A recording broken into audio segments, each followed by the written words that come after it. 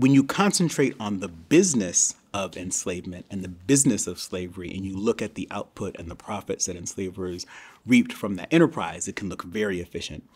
If you look at it from the perspective of the enslaved, it's theft, it's taking their labor. And more importantly, it's not even efficient theft, it's inefficient theft. It's taking their labor and it's not even taking it in a way in which it's worth as much in terms of the output as they would value their own leisure to themselves.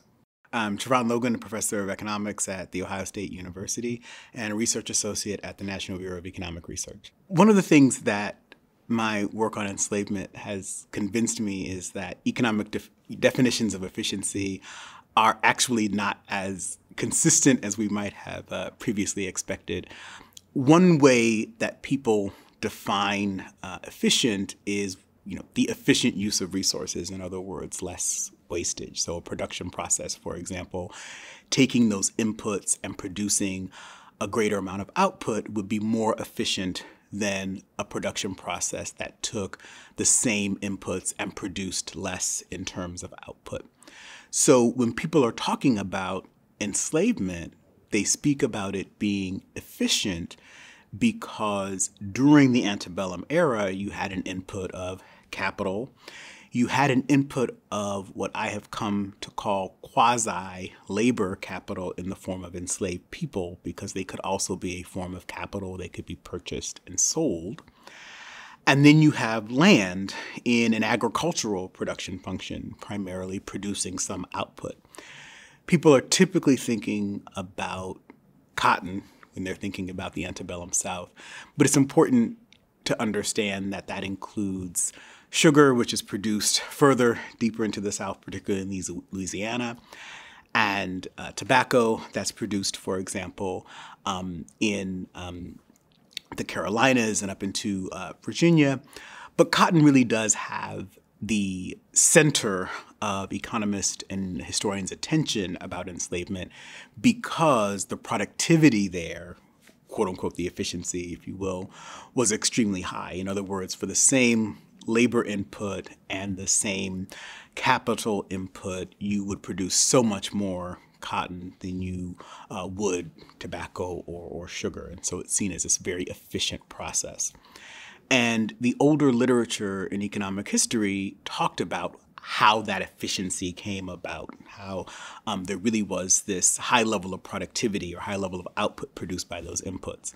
And that included the, the gang labor system, where you had and you see these significant uh, economies of scale when you have more than 10 enslaved people working because they could work in small groups and they are literally farming together and chopping the land and picking, and you can speed their work up, what I would really call a historical assembly line where you can sort of flip on a switch um, and have the workers work much faster. And that's been really where people have been thinking about efficiency. And so that's been the way that everybody's talked about it for quite some time. And there's a problem with that. And I think that the problem to me is in that what I called that quasi labor capital piece, which is that if you view enslaved people as just the labor input, you've implicitly assumed some sort of market function for their presence in this market, right? That they're labor. And they're labor, but they're not labor. They're forced labor. And so when you begin thinking about efficiency there, now you have to take account of something else. And the something else is maybe there is something else that they would rather be doing than working in this system. And that has to have value to them. And once you think about the value that it has to them versus what they're compensated for, for their productivity, it might not turn out that this is such an efficient system right? So when you concentrate on the business of enslavement and the business of slavery, and you look at the output and the profits that enslavers reaped from that enterprise, it can look very efficient. If you look at it from the perspective of the enslaved, it's theft, it's taking their labor. And more importantly, it's not even efficient theft, it's inefficient theft. It's taking their labor and it's not even taking it in a way in which it's worth as much in terms of the output as they would value their own leisure to themselves. I'm trying to incorporate in thinking about enslavement as a total social system. There are things that happen in enslavement that are beyond the market. It's not just about taking enslaved people and using their labor to produce an output. It is also very much a social system. And part of that social system requires the debasement of people to continually reestablish their social position as enslaved people. And those are ideas that historians and humanists have been much more taken with in the last 20 or 30 years than economists in understanding the interplay between a economic system that is certainly capitalistic in its orientation and about profit maximizing, but also exists in a social world which has racial enslavement and how those two map onto each other does not necessarily imply that everything going on in the plantation has a market explanation and that everything on the plantation going on is something that is done necessarily to derive profit. The issue about the cost of enslavement that we thought about is only from the perspective of an enslaver, in that is, the person has, they either have no cost, right, if you have enslaved people um, who have given birth uh, on, and they they are owned by you. You own their progeny um, by design, um, and it costs you nothing to produce another enslaved person other than the care of the person who is their parent. And so you produce this enslaved person who has value, and then you have to provide this person with some rations, clothing, etc. And you can think of that net of what they produce for you in terms of the market or services that they provide to you uh, for your life and the market value of, of those.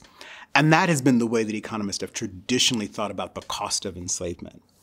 If you turn that around, what you've done is you've taken someone's agency completely from them in every aspect of their life. And that's where this is a really different idea about labor supply. So one, you know, very rudimentary way of thinking about supplying labor in a job is I'm giving my employer my time, and in exchange for that time, my employer pays me a wage.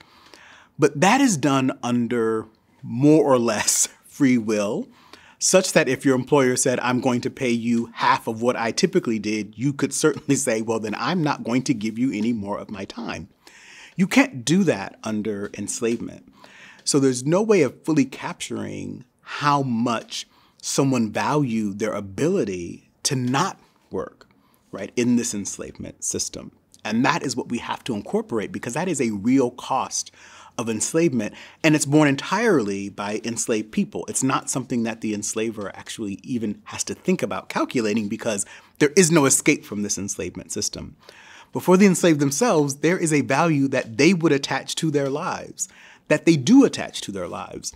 One of the things that led me to think about this project is the work of narrative historians. And um, Litwack, for example, in particular, talks about that immediately after uh, emancipation, one of the things that the formerly enslaved would do is simply just get up and move about as they wanted and say, I'm just going to go into town, right? Which we wouldn't think of as being some extraordinary thing, unless it is something that is explicitly forbidden for you to do, unless you have explicit permission from your enslaver. So something just as simple as taking time after work to do something that you want to enjoy is not something that enslaved people took for granted. And that has value because it was taken from enslaved people during enslavement.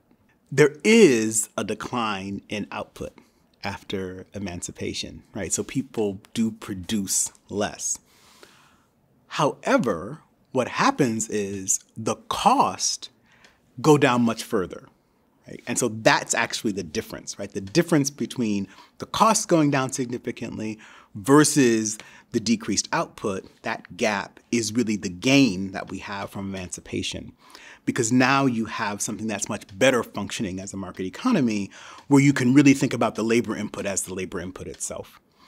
And so this value varies in a couple of different ways. So it varies whether or not you're accounting for where that difference is coming from. So if we only think about the difference as coming from the movement away from the gang labor system, which certainly dissolved after emancipation, That's a relatively small gain, but it's still really significant in terms of a share of GDP.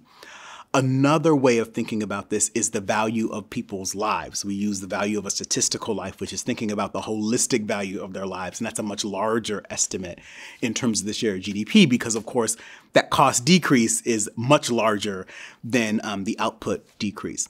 And we also try to measure this when we're thinking about the South in terms of cotton growing states versus the South in general. We might call Old South, New South. Old South being Virginia, North Carolina, New South being places like Mississippi and Alabama. And you do see larger gains to this because, of course, the concentration of the gang labor system, et cetera, in these cotton growing states, there is a larger gain in terms of the increased productivity in those states relative to the South overall.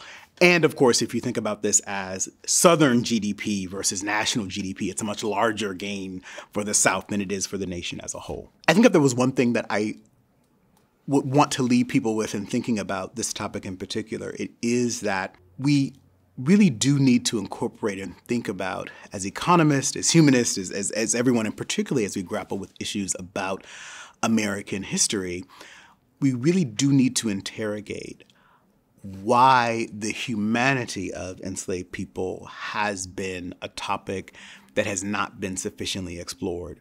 We have looked at enslaved people as, I would say, inanimate labor and not really thought about holistically their lives. And that follows for a lot of reasons. We don't have um, as many textual sources where enslaved people are speaking for themselves. We do have the WPA narratives and some other sources, but of course we don't have, because of the institution of enslavement, more testimony about the life of enslaved people. But we do have enough to actually capture several features about their lives and about how people who had escaped enslavement would talk about the fact that they would rather die than go back to enslavement, which says something about its cost. But underneath all of that is this humanizing aspect of thinking about the lives of enslaved people and what enslavement was and what it did to human beings. And so we've talked about it institutionally. We talk about whether it's a cause of the Civil War. We talk about what it means for productivity, but we haven't thought about it as a day to day process that did things to people and in which people had to make constrained decisions where people had all of their agency taken from them. And we still haven't really dealt publicly and nationally with a conversation about what that has meant for those people and what it means to, in particular, racial inequality today. And so that is that arc of that dehumanizing process that I think still continues. And thinking about it just in terms of productivity is one way of forcing that for economists to confront it. But there are many other dimensions uh, that I think people should be thinking about.